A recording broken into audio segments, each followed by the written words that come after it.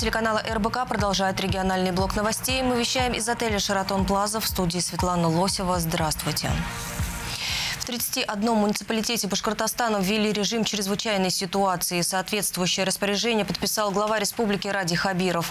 Поводом стали последствия заморозков. Режим ЧС объявлен в центральных, северных, западных районах и некоторых северо-восточных территориях. А именно в Ишимбайском, Миякинском, Аскинском, Белебеевском, Илишевском, Калтасинском, Мичетлинском, Чешминском и в ряде других.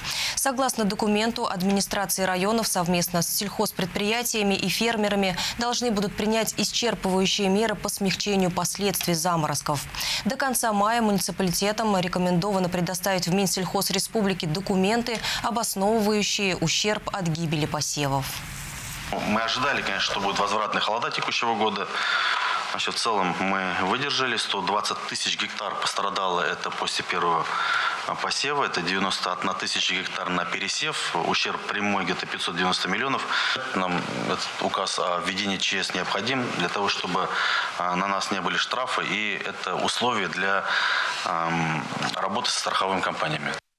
58 тысяч гектаров погибших посевов приходится на зерновые и зернобобовые культуры, 10 тысяч на сахарную свеклу, 17 тысяч на масличные, 6 тысяч на прочие культуры. Напомню, заморозки продолжались в Башкортостане с 5 по 11 мая. Ночные и утренние температуры в эти дни варьировались от минус 2 до минус 9 градусов. В Башкортостане возбудили уголовное дело после пожара в Благоварском районе, в котором погибли четыре человека, в том числе один подросток. Об этом сообщило региональное управление Следственного комитета. Пожар произошел в ночь на среду, 24 мая, в частном доме по улице Цветочная в селе Старокучурбаево.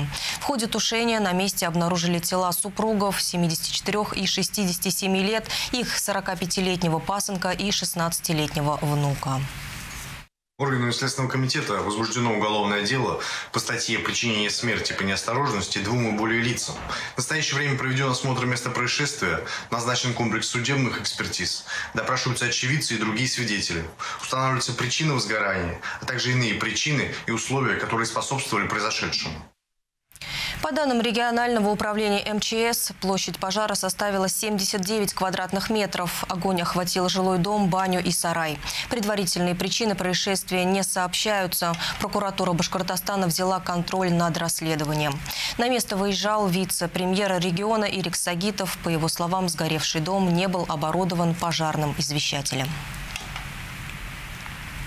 Внешнеторговый оборот между Башкортостаном и Белоруссией в первом квартале года увеличился на 57% по сравнению с аналогичным периодом 2022 Экспорт товаров вырос на 60%, импорт увеличился на 54%. Об этом сообщает пресс-служба правительства республики.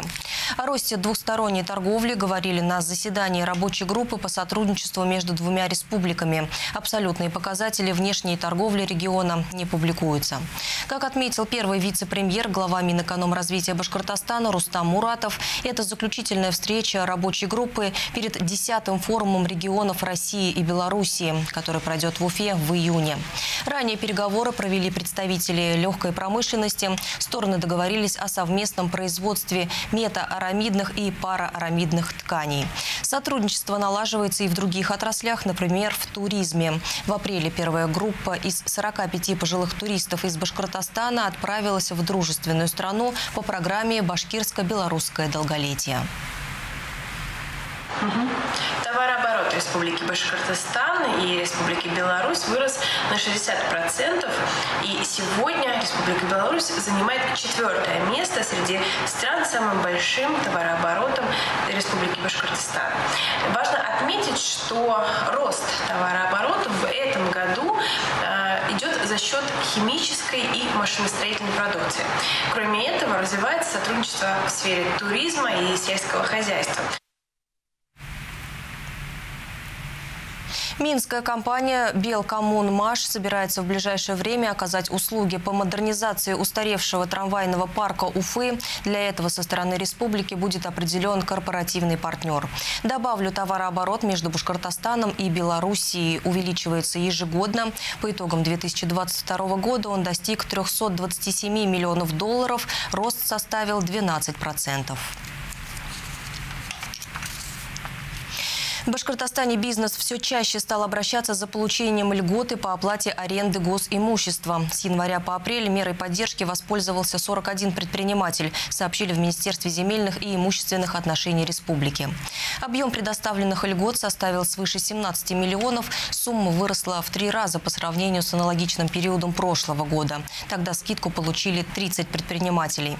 Напомню, в первый год бизнес платит 40% от полной стоимости аренды, во второй – 60%, 50, в третьей – 80%. Льготы применяются при пользовании госимуществом за исключением земельных участков. За весь прошлый год в Башкортостане программой воспользовался 81 предприниматель. Объем льгот составил почти 22 миллиона. Изменения в методику расчетов Минземимущество внесло в декабре 2021 года. С января этого ее распространили и на самозанятых. Сегодня Центр общественных процедур «Бизнес против коррупции» рассмотрел спорное дело между юрлицом и ресурсоснабжающей организацией.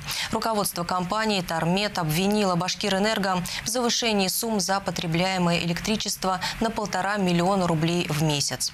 В итоге сумма переплаты на сегодняшний день перевалила за 30 миллионов. В деле пытались разобраться представители бизнес-сообщества Уфы и руководители общественных организаций по защите прав предпринимателей.